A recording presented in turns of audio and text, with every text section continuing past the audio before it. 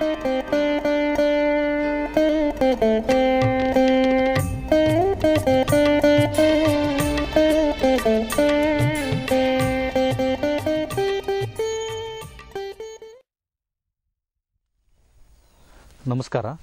ನನ್ನ ಹೆಸರು ಸುರೇಶ್ ಅಂತ ಹೇಳಿ ಇಲ್ಲಿ ಉಪ್ಪರಹಳ್ಳಿ ಗ್ರಾಮದಲ್ಲಿ ಕ್ಷೇತ್ರಾಧಿಕಾರಿಯಾಗಿ ಕೆಲಸ ಮಾಡ್ತಿದ್ದೀನಿ. ಚಿಕ್ಕನಹಳ್ಳಿ ತಾಲ್ಲೂಕು ಉಪ್ಪರಳ್ಳಿ ಒಟ್ಟು ಕುಟುಂಬ ಇಲ್ಲಿ ನೂರ ಇಪ್ಪತ್ನಾಲ್ಕು ಮನೆಯದು ಒಂದು ಪುಟ್ಟ ಗ್ರಾಮ ಇಲ್ಲಿ. ಇಲ್ಲಿ ಎರಡು ಸಾವಿರದ ಹತ್ತರಿಂದಲೂ ನಾವು ಕರ್ನಾಟಕ ಸರ್ಕಾರದ ಕೃಷಿ ಇಲಾಖೆ ಇವರ ಸಹಯೋಗದಲ್ಲಿ ಸಾವಯವ ಕೃಷಿ ಯೋಜನೆಯನ್ನು ಸ್ಟಾರ್ಟ್ ಮಾಡಿದ್ದೀವಿ ಇಲ್ಲಿ ಬಹಳಷ್ಟು ರೈತರು ತರಕಾರಿ ಬೇಸಾಯವನ್ನು ಮುಖ್ಯ ಆದಾಯವನ್ನಾಗಿಟ್ಟುಕೊಂಡು ತರಕಾರಿಯನ್ನು ಬೆಳೀತಾ ಇದ್ದಾರೆ ಸರ್ ಇಲ್ಲಿ. ಒಟ್ಟು ನಲವತ್ತೈದು ಜನ ಸಾವಯವದಲ್ಲಿ ತರಕಾರಿಯನ್ನು ಬೆಳೀತಾ ಇದ್ದಾರೆ ಇಲ್ಲಿ. ಅದರಲ್ಲಿ ಒಟ್ಟು ಯಾವ್ಯಾವ ಗೊಬ್ಬರ ಅಂದರೆ ಎರೆಹುಳು ಗೊಬ್ಬರ, ಮತ್ತು ನೆಡಪ್ ಕಾಂಪೋಸ್ಟು, ಜೀವಾಮೃತ, ಮತ್ತು ದ್ರವ ರೂಪದ ಗೊಬ್ಬರ, ಮತ್ತು ಗಂಜಲವನ್ನು ಗೊಬ್ಬರವಾಗಿ ತಯಾರಿಸ್ಕೊಂಡು ಗೊಬ್ಬರವನ್ನು ಮಾಡ್ತಿದ್ದಾರೆ ಸರ್. ಅದರಿಂದ ನಮ್ಮ ಉಪ್ಪರಳ್ಳಿ ಗ್ರಾಮದಲ್ಲಿ ನಮ್ಮ ಚಂದ್ರಪ್ಪನವರು ಹೆಚ್ಚಿನದಾಗಿ ಅದನ್ನು ಗಂಜಲ ಗೊಬ್ಬರವನ್ನು ತಯಾರಿಸಿಕೊಂಡು ನಮ್ಮ ಹೀರೆ ಗಿಡ ತರಕಾರಿ ಯಾವುದೇ ಒಂದು ಬೆಳೆ ಆಗಲಿ ಅದರ ಬೆಳೀತಾ ಇದ್ದಾರೆ ಅದನ್ನು ನೋಡೋಣ ಬನ್ನಿ ಸರ್ ಎಲ್ಲ. ನಮ್ಮ ಗ್ರಾಮದ ಚಂದ್ರಪ್ಪರು ಸಾವಯವ ಗೊಬ್ಬರದಲ್ಲಿ ತರಕಾರಿ ಬೆಳೆ ಮಾಡಿದ್ದಾರೆ. ನೋಡೋಣ ಬನ್ನಿ. ಚಂದ್ರಪ್ಪರೇ ನಿಮ್ಮ ಪರಿಚಯ ಮಾಡಿಕೊಡ್ರಿ. ನನ್ನ ಹೆಸರು ಚಂದ್ರಪ್ಪ ಅಂತ. ಉಪ್ಪಾರಳ್ಳಿ ಗ್ರಾಮ. ನಾನು ನಮ್ಮದು ಜಮೀನು ಎಂಟು ಎಕರೆ ಜಮೀನಿದೆ. ಅದರಲ್ಲಿ ಎರಡು ಎಕರೆ ತರಕಾರಿಯನ್ನು ಮಾಡುತ್ತೇನೆ ಚಂದ್ರಪ್ಪರೆ ನೀವು ಯಾವ್ಯಾವ ತರಕಾರಿ ಬೆಳಿತಿದ್ದೀರಾ? ನೋಡಿ ರಾಮಯ್ಯರೇ ನಾವು ಬೆಳಿತಿರೋದು ಹೀರೆಕಾಯಿ ಪೆಟ್ಲಿಕಾಯಿ ಮೆಣಸಿನ ಗಿಡ ಬೆಂಡೆ ಗಿಡ ಮೂಲಂಗಿನೂ ಬೆಳಿತೀವಿ ಸೊಪ್ಪು ಬೆಳಿತಿದ್ದೀವಿ ಅದರಲ್ಲಿ ಬ ತರಕಾರಿ ಬೆಳೆಯುವಂಥ ಜಾಗ ಒಂದು ಎಕರೆಯಲ್ಲಿ ನಾವು ಹಂತ ಹಂತವಾಗಿ ತರಕಾರಿಯನ್ನು ಬೆಳೀತಾ ಇದ್ದೀವಿ.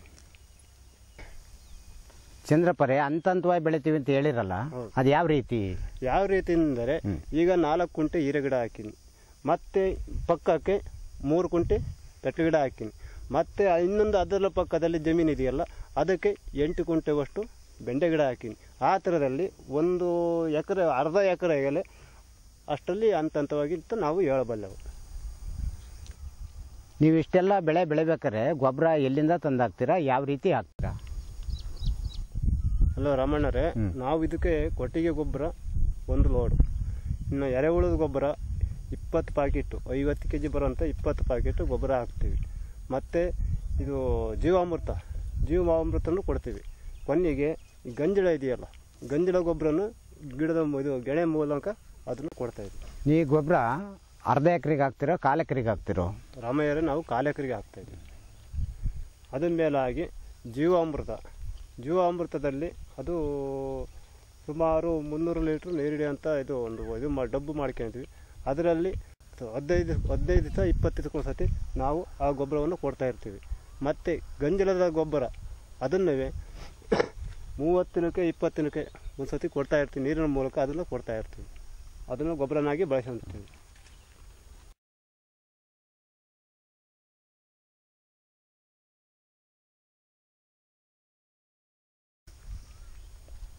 ನೀವು ಎಷ್ಟು ಲೀಟ್ರ್ ಗಂಜಲ ಗೊಬ್ಬರ ಉಪಯೋಗಿಸ್ತೀರಾ?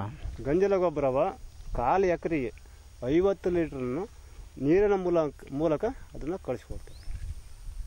ಚಂದ್ರಪರೆ ನೀವು ಜೀವಾಮೃತ ಯಾವ ರೀತಿ ಬಳಸ್ತೀರಾ? ರಾಮಯ್ಯರ ಜೀವಾಮೃತ ಯಾವ ರೀತಿ ಬೆಳೆಸುತ್ತೆ ಅಂತಂದರೆ ನಾವು ಗೆಳೆ ಮೇಲೆ ಏಕ ಗೆಳೆ ಮೇಲೆ ಬಿಟ್ಕೊಂಡು ಹೋಗ್ತೀವಿ. ನೀರು ಬಿಟ್ಟಾಗ ಅದು ನೀರು ಕೂಟ ಇದಾಗುತ್ತೆ. ಇಲ್ಲ ಕಾಲ್ಯವು ನೀರು ಬಿಡ್ತೀವಲ್ಲ ಆ ಕಾಲ್ಯವು ನೀರು ಕೂಟ ಬಿಟ್ಟರೂ ಅದು ಅದರ ಪ- ಇದಾಗೆ ಹೋಗುತ್ತೆ ಸರಿ ನೀವು ಗಂಜಲ ಯಾವ ರೀತಿ ಬಳ- ಬಳಸ್ತೀರಾ? ರಾಮಯ್ಯರೇ ಒಂದು ಲೀಟ್ರ್ ಗಂಜಲ ಹತ್ತು ಲೀಟ್ರ್ ನೀರು. ಅದನ್ನು ಭೂಮಿ ಇದು ಇದು ಒಂದು ಬಕೆಟ್ ಇದೆಯಲ್ಲ ಬಕೆಟ್ ಅದರಲ್ಲಿ ಭೂಮಿ ಕಾಯಿಸ್ತೀವಿ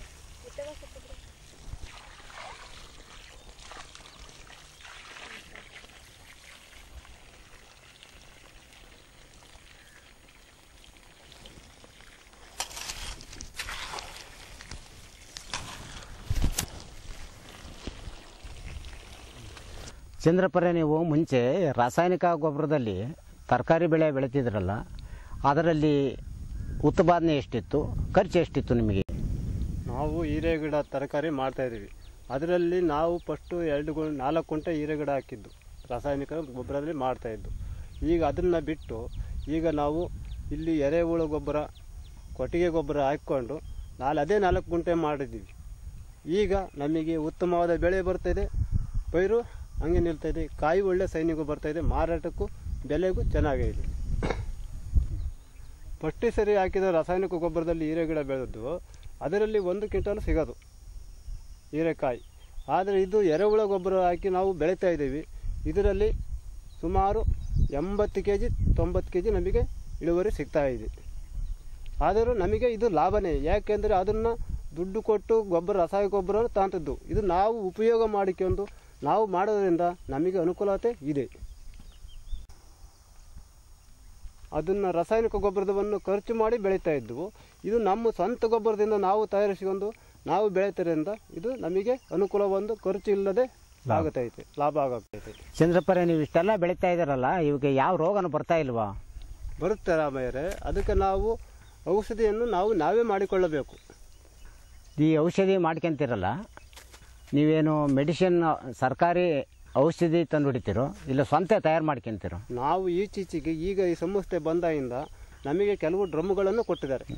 ಅದಲ್ಲಕ್ಕೆ ನಾವು ಇಸಂದರಿ ಸೊಪ್ಪು ಬೇವಿನ ಸೊಪ್ಪು ಕಾಂಗ್ರೆಸ್ ಗಿಡ ನಿಂಬೆ ಎಲೆ ಎಲ್ಲಿ ಎಲೆ ಅವನ್ನ ಚೆನ್ನಾಗಿ ತಂದು ತೀಡಿ ಉಜ್ಜಿ ಆ ಡ್ರಮ್ಮಿಗೆ ಕಲಕಿ ನಾಲ್ಕು ದಿನ ಬಿಟ್ಟು ಅದನ್ನು ಸಿಂಪಡಣೆಯನ್ನು ಮಾಡ್ತೇವೆ ಗಿಡಕ್ಕೆ. ನೀವು ಸ್ವಂತ ತಯಾರು ಮಾಡ್ಕೊಂಡು ಔಷಧಿ ಹೊಡೆದ್ರಲ್ಲ ಅದರಿಂದ ರೋಗ ಎಲ್ಲ ನಾಶವಾಗಿ ಹೋಯ್ತಾ? ಹಂತವಾಗಿ ಸ್ವಲ್ಪ ದಿನ ಒಂದು ಸತಿ ಹೊಡೆದ್ರೆ ಅಷ್ಟು ನಾಶವಾಗಲ್ಲ. ಇನ್ನೊಂದು ಸರಿ ಎರಡು ಸರಿ ಮೂರು ಸರಿ ಪ್ರೇ ಮಾಡೋದ್ರೊಳಗಾಗಿ ನಮಗೆ ಗುಣಮಟ್ಟ ಕಾಣುತ್ತೆ. ನೀವೆಲ್ಲ ಸ್ವಂತ ನೀವೇ ತಯಾರು ಮಾಡ್ಕೊಂಡು ಮಾಡ್ತಾ ಇದ್ದೀರಲ್ಲ ಇದರಲ್ಲಿ ನಿಮಗೆ ಲಾಭ ಸಿಗುತ್ತಾ? ಲಾಭ ಉಂಟು ರಾಮಯ್ಯರೇ. ನಾವು ಮಾಡಿಕೊಳ್ಳೋ ಗೊಬ್ಬರದಲ್ಲಿ ಔಷಧಿಯಲ್ಲಿ ನಮಗೆ ಲಾಭ ಇದೆ ಅಂದರೆ ನಾವು ಹೋಗಿ ಅಂಗಡಿಯಲ್ಲಿ ತಂದು ಹೊಡೆಯೋದಕ್ಕನ್ನು ನಾವು ಈ ಥರ ಮಾಡಿದರೆ ನಮಗೆ ಲಾಭವೂ ಉಂಟು.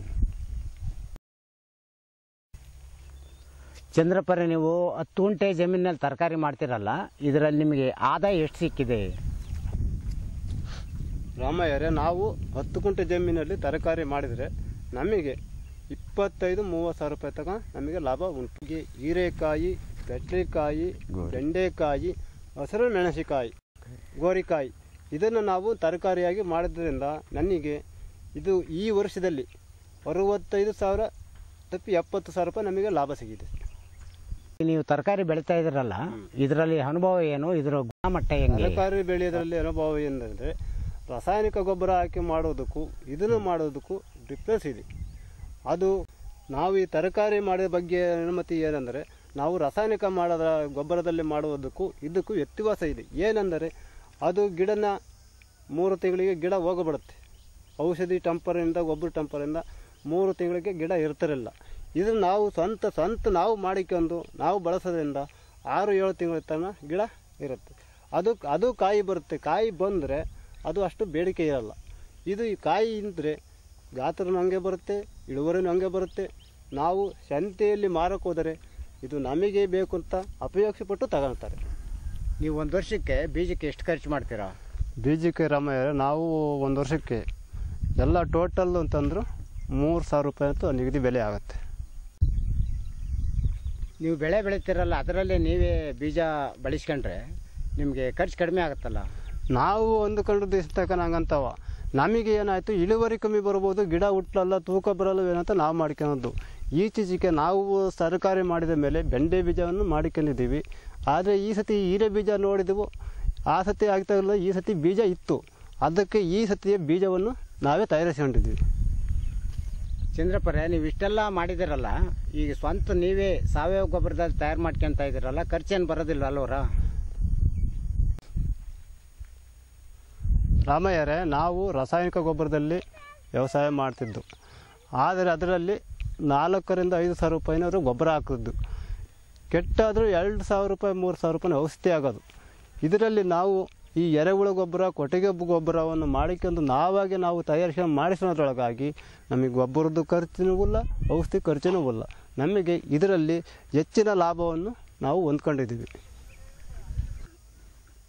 ಚಂದ್ರಪ್ಪರೇ ಧನ್ಯವಾದಗಳು. ಧನ್ಯವಾದಗಳು. ನಮ್ಮ ಕೃಷಿ ಇಲಾಖೆ ಬಗ್ಗೆ ಮೇಲಾಧಿಕಾರಿಯಾದಂಥ ಜೆ ಡಿ ಅವರಿಗೂ ನಮ್ಮ ಧನ್ಯವಾದಗಳು. ಮತ್ತು ಬಯಪ್ ಸಂಸ್ಥೆ ಅಧಿಕಾರಿಯ ವರ್ಗದವರಾದ ಟಿ ಸುರೇಶ್ ಅವರಿಗೂ ನಮ್ಮ ಧನ್ಯವಾದ ಈ ಸಾವಯವ ಗೊಬ್ಬರದ ಈಗ ವಿಡಿಯೋ ಮಾಡಿರ್ತಕ್ಕಂಥ ಡಿಜಿಟಲ್ ಗ್ರೀನ್ ಅವರಿಗೂ ನಮ್ಮ ಧನ್ಯವಾದಗಳು